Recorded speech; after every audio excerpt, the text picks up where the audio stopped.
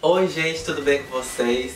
Gente, hoje eu tô aqui pra gravar um vídeo com o meu boy sobre oito perguntas que toda pessoa tem vontade de fazer pros gays. Não sei se tem perguntas de casais relacionados aqui, mas como nós dois somos exímios gays, né, gente? Então vamos embora dar uma respondida nessas perguntas aqui que nós pegamos na internet e nós não olhamos as perguntas ainda, ou seja...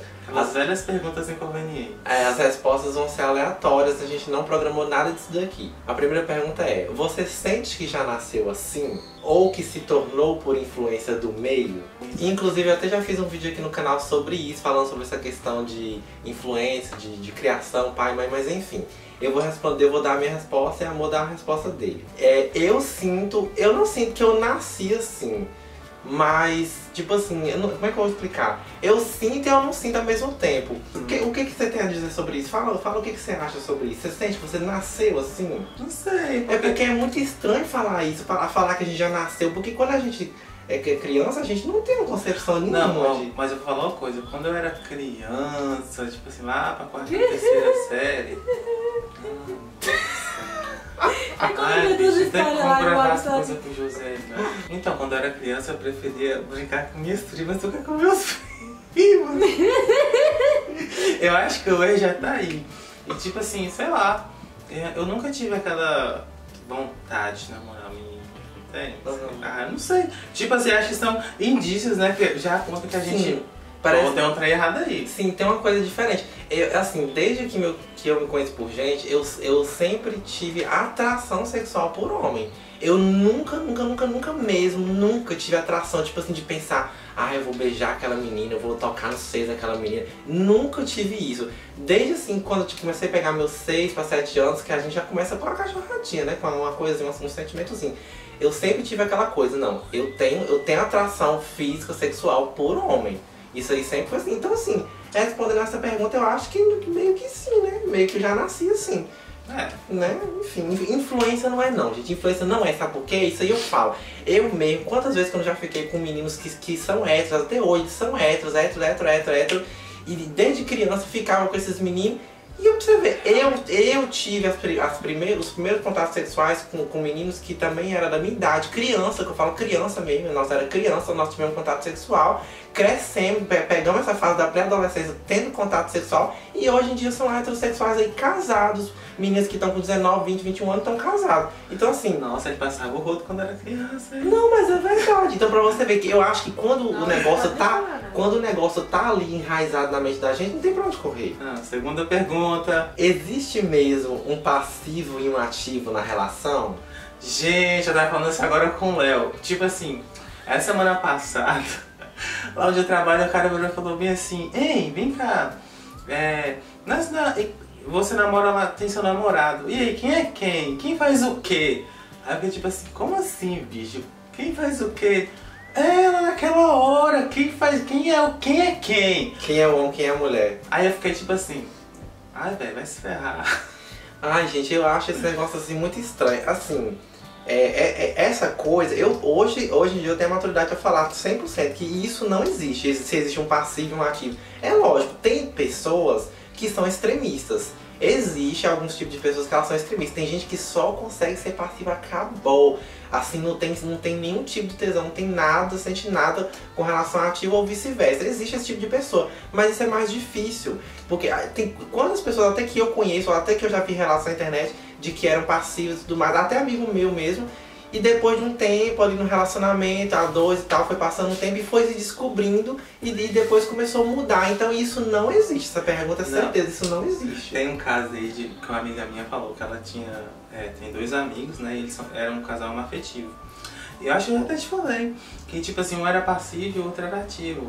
Aí o, o que era ativo quis, quis ser passivo. Aí acabou que viciou Uhum. Aí acabou que o cara se tornou passivo, ficou os dois. Não, é isso, não, isso, é, isso é muito assim. Eu acho que quem fala que é, que é assim, ah, porque eu sou passivo acabou, eu sou ativo e acabou, isso é gente que não experimentou, que por, por alguma trava mesmo ali do cérebro não, dá o braço a torcer. Porque... Ou experimentou e não acho uma, uma, coisa muito boa. Sim, não teve uma experiência bacana, porque tudo, né, gente, depende de como se faz, né, gata? É possível ser gay e ser apenas ativo ou ser lésbica e ser apenas passiva? Ué, essa pergunta é praticamente a mesma coisa que a gente. Eu vou pular, nada a ver. Eu, a mesma pergunta. Você já teve relações heterossexuais? Ai, Ayla. Vou deixar o boy falar primeiro. Então, tipo assim, naquele período que a gente é incubado, a gente começa a colocar uma coisa na nossa cabeça, né? Tipo assim, ah, vamos dar aquela velha. Vamos dar uma enganadinha na sociedade aí, né? Aí, tipo assim, a gente começa a ter aquela coisa, a gente começa a criar aquele. Não sente, acho que não é um sentimento, entendeu? Não tem quando você é apegado a uma pessoa Uhum. e você fica tipo assim, ai, ai, eu acho que eu gosto dessa pessoa, ai, eu vou ficar com essa. Enfim, mas mesmo assim não é. Porque, tipo assim, teve um período que. Quando eu não era assumido, eu ficava com algumas meninas, obviamente, né? Mas, tipo assim, pra enganar a roda dos meus amigos. E, tipo assim, ah, era uma coisa tão estranha, não sei, você ficar com alguma, uma menina assim, sem você sentir porra nenhuma. Aí você. Ai, sei lá, uma sensação muito.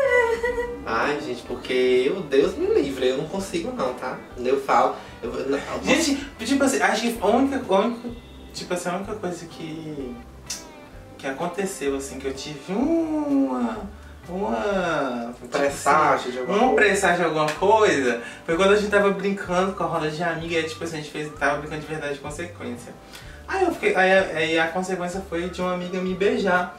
Mas já tava tudo tramado por trás, que era pra me testar, você acredita nisso? Aí a menina me subiu em cima de mim, começou a me beijar e começou a me relampar. Em cima de mim, não tem.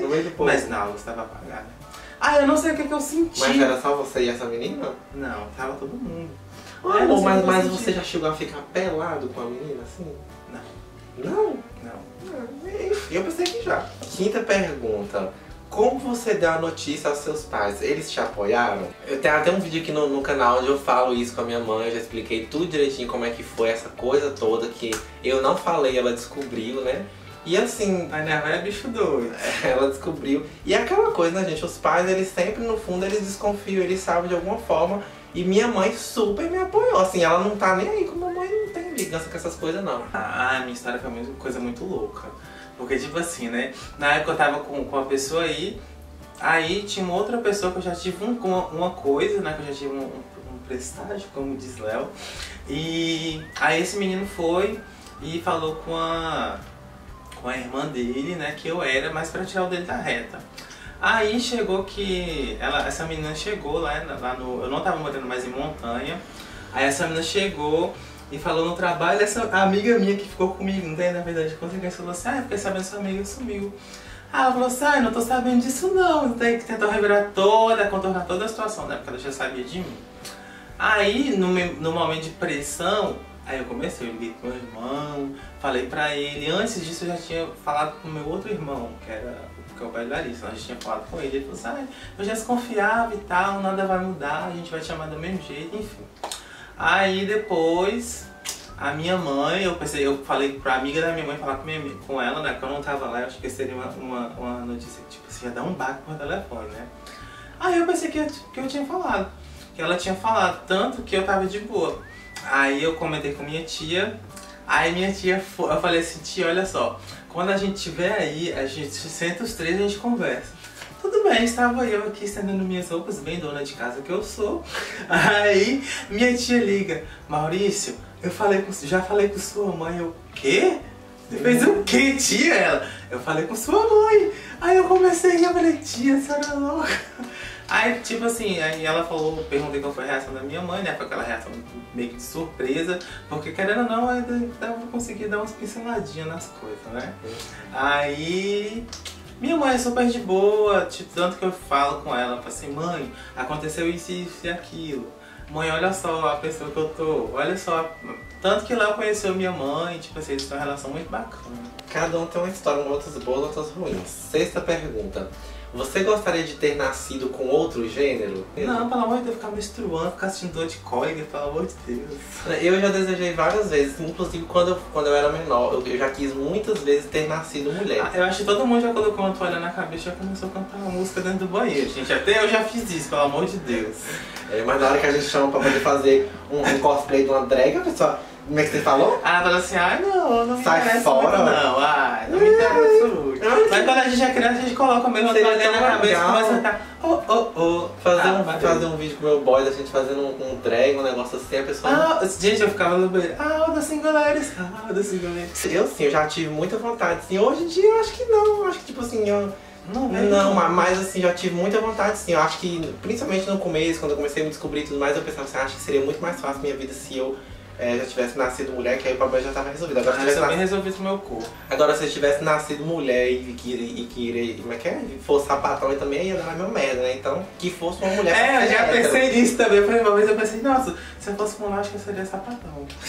Você acha que a sua sexualidade pode mudar conforme você envelhecer? Ah, gente, pelo amor de Deus, comigo não mudou. Ficando com um, ficando com o otário, e agora que vai mudar. Não, eu não, acho que não tem lógica. Eu acho assim, gente, é, é igual eu já falei aqui no canal. A sexualidade ela tem suas ramificações. Não existe heterossexual e homossexual, ponto, ponto final, ou bissexual, três gêneros, tr- três opções sexuais que o pessoal fala. Às vezes, Não existe isso. tipo assim, às vezes eu acho que tipo, a pessoa é, tem aquela velha, aquele velha coisa, né? A curiosidade. Uhum.